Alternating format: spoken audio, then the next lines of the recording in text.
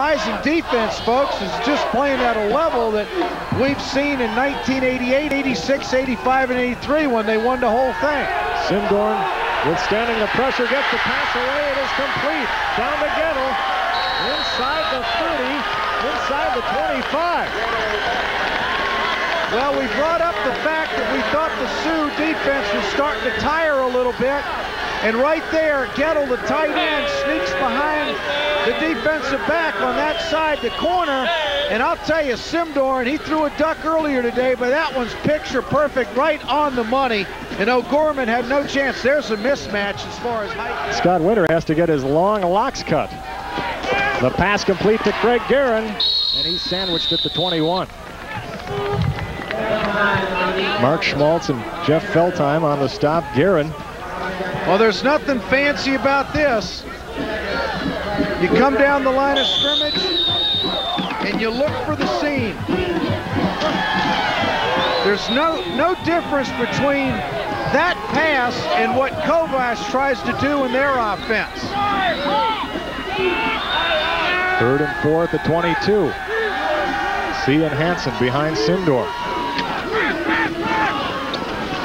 Simdorn has some room. He cuts it outside, trying to get out, and he's forced out of bounds at the 11 or 12 yard line.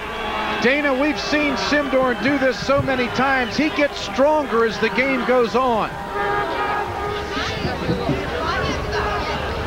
And here we see Simdorn down the line again. They get a great block on Middlestat there.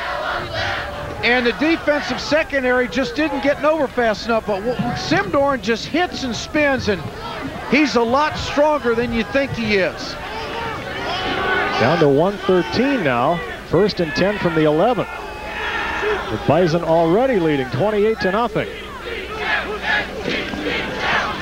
Simdorn cuts it in, and he runs smack dab into Feldheim and Mark Schmaltz, the brother of Mike. Down to about the seventh.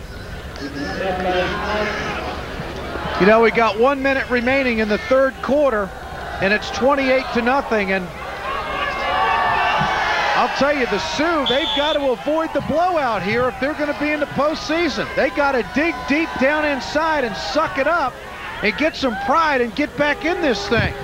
You know, and this is a hard thing to do. They haven't had any offense to speak of in the second half, and again, their defense is backed up into the hole. The Sioux in danger of being shut out by the Bison for the second straight year. Here's Simdorn. Magnetized by about five Sioux, I tell but you, he's I- inside the five. Simdorn, he is tough. I, I mean, he, he could have stretched that play out further, and he cut it up on the hash mark and said, I don't care, I'll take all you guys on. You know, they don't make him much tougher than that kid. I've seen him line up at 30% and win. That is the end of the third quarter. The Bison 15 minutes away from a perfect regular season. It's 28 to nothing. Fourth quarter coming up.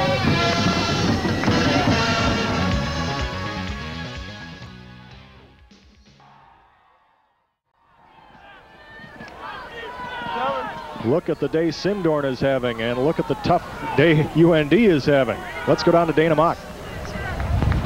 We talked about Chris Simdorn. I'll tell you, it's some great memories for some Bison players, but there is a bitter memory from one of them. It is former linebacker Brian Magruder. It was two years ago, 1988, on this field. He was an up-and-coming star in that Bison defense.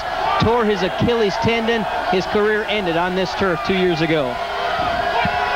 That's right. One of the few dark spots for the Bison on this field in their last two games. Here's the pitch to Satter, in for the touchdown. Satter from three yards away, his second TD of the day. Tony Satter, one of the all-time greats out of this conference and out of Division Two. There you see Rocky. He doesn't want to pour it on, but the Sioux offense isn't doing anything. That's a great block on the outside by Marty C.